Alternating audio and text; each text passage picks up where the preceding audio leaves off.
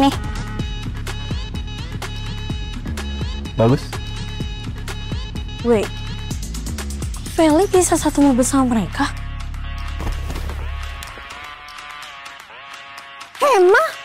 Ah, apaan sih lo? Jordan ketipu. Jordan, papa itu sekolahin kamu supaya kamu itu bisa selektif.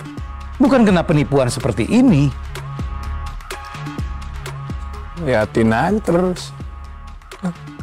Kayak gitu ya. Jadi suka sama Feli. Hah?